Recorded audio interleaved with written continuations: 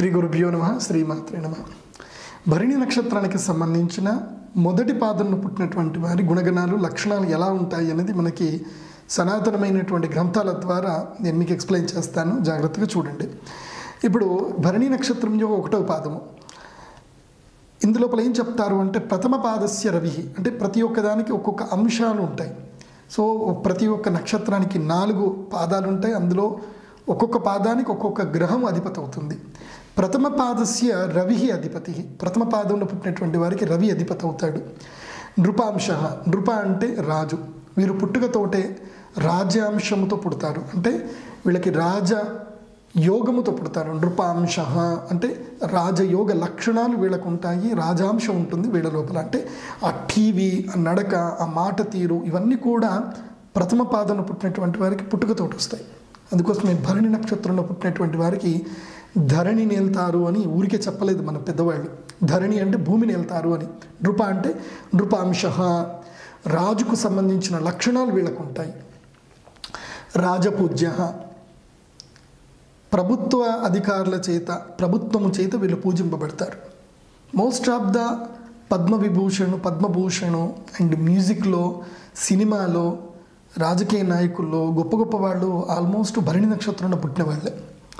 కాబట్టి రాజపూజ్య ఈ భరణి నక్షత్రం పుట్టిన వానికి చక్కగా రాజపూజ్య గౌరవం లభిస్తుంది. సో దీన్ని బట్టి మనం ఏం అర్థం చేసుకోవచ్చు అంటే ఒకవేళ భరణి నక్షత్రంలో మీరు పుట్టి ఉంటే మీకు గనక ఈ ఒకటో పాదంలో పుట్టి ఉంటే మీ గనక ఏమంటారు ఇది ఐఏఎస్ ఐపీఎస్ గ్రూప్స్ ట్రైనింగ్ వెళ్ళాలి అనుకుంటే you can go ahead. Because ఒకటో పాదన పుట్టినటువంటి వారికి రాజపూజ్య యోగం ఉంది కాబట్టి. అంటే ప్రభుత్వ అధికారము దొరికే అవకాశం ఉంటుంది ప్రభుత్వ ఉద్యోగం దొరికే అవకాశం ఉంటుంది. సర్వలక్షణ సంపన్న మంచి మంచి లక్షణాలు అంటే మంచి లక్షణాలు సర్వ లక్షణ సంపన్న అన్ని లక్షణాలు వీళ్ళకి నథింగ్ ఈజ్ ఇంపాసిబుల్ వీళ్ళు ఏదైనా ప్రయత్నం చేస్తే వీళ్ళు కంపల్సరీ సాధించవచ్చు. కానీ ఒక కాంట్రా ఇండికేషన్ చపలత్వం కూడా ఉంటుంది. అలా అని అన్ని ఫీల్డ్ పట్టుకుంటే కరెక్ట్ కాదు.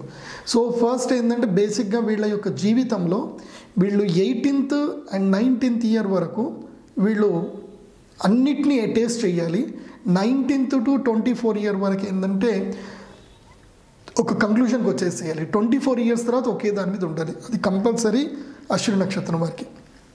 ఎందుకోసం అంటే వీళ్ళకి శుక్ర మహర్దశ అయిపోయిన తర్వాత కేతు మహర్దశ వస్తుంది. అంటే ఇరవై ఏడు సంవత్సరాలు దాటిపోయిన తర్వాత వీళ్ళకి రవి మహర్దశ వస్తుంది. ఇనశశి కుజాగి జీవమందగ్న శిఖి భానుసుతాహ ఈన. ఇరవై సంవత్సరాలు అయిపోయిన తర్వాత ఏమవుతుంది? రవి మహర్దశ ప్రారంభమవుతుంది.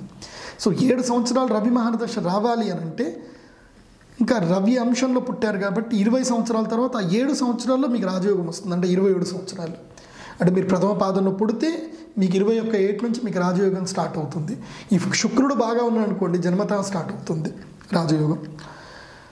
ఇది ప్రథమ పాదం యొక్క లక్షణాలు. ఇంకా వైడ్గా ఎక్స్ప్లెనేషన్ కావాలి అంటే మీరు డెఫినెట్లీ మీ హోరోస్కోప్ చూపించుకోవాలి మీ జాతకం చూపించుకోవాలి ఎందుకోసం అంటే కేవలం నక్షత్రముతో పాదముతో పూర్తి జాతకం చెప్పడము కష్టం. కాబట్టి మీరు భరణి నక్షత్రం ఒకటో పాదంలో పుడితే మీరు కంపల్సరీ మీరు నా దగ్గరికి రావాల్సిందే. జ్యోతిష్యం చెప్పించుకోవాల్సిందే. నేనంటే నేను కాదు మంచి స్కాలర్స్ నాలాంటి వాళ్ళు.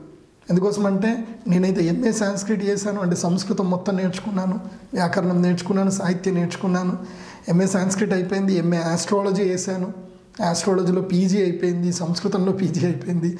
MSc yoga therapy medical college నుంచి యోగా థెరపీ పీజీ కూడా చేశాను. ప్లస్ ఎనిమిది సంవత్సరాలు తొమ్మిది సంవత్సరాలు కష్టపడి జ్యోతిషంలో పిహెచ్డి చేశాను. అంటే ఎంతో అనుభవం ఉంది ఎంతో జ్ఞానం ఉంది అని కాబట్టి నేను ప్రౌడ్గా చెప్పగలుగుతాను నా దగ్గర రండి అని.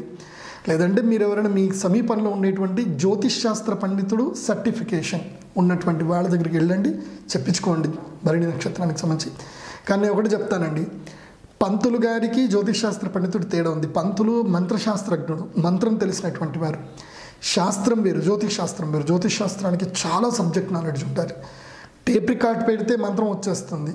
బట్ వైడ్ ఎక్స్ప్లెనేషన్ కావాలి క్వశ్చన్ ఆన్సర్ రావాలి అంటే రోబోట్ లాగా వర్క్ చేయాలి.